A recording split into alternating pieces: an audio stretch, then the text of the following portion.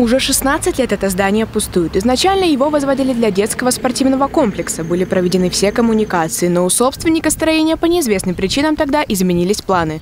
Здание пытаются продать, но нового хозяина найти не получается. Сегодня заброшка является местом встречи маленьких детей и подростков.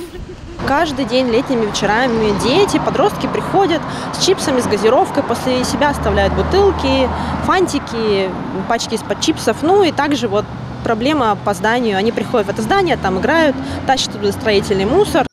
Решить проблему жители двора пытаются уже пять лет. Обращались в администрацию района и управляющую компанию.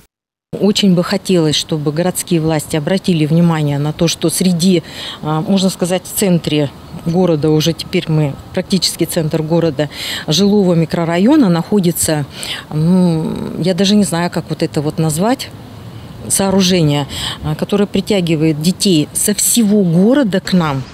Сотрудники администрации выезжали на место постройки, осмотрели здание и признали, что его техническое состояние оставляет желать лучшего. При этом попасть в него на тот момент было невозможно, все окна и двери закрыты.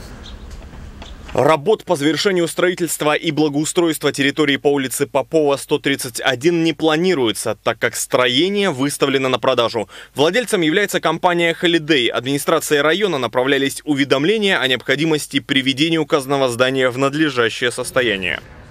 Однако сейчас проникнуть в это здание можно без труда. В стене образовалась огромная дыра, которая так и манит сюда молодежь. Внутри заброшенного здания полное раздолье для посиделок молодежи. Здесь они полностью скрыты от посторонних глаз. Судя по количеству мусора, вечеринки здесь дело постоянное. Передвигаться по заброшке нужно очень осторожно, так как ненароком можно наступить на что-то неприятное. Мы приехали на место спустя неделю и убедились, что после наших обращений в администрацию здание по-прежнему находится в плачевном состоянии. Вход в него не заблокирован, хотя кое-что чиновники предприняли.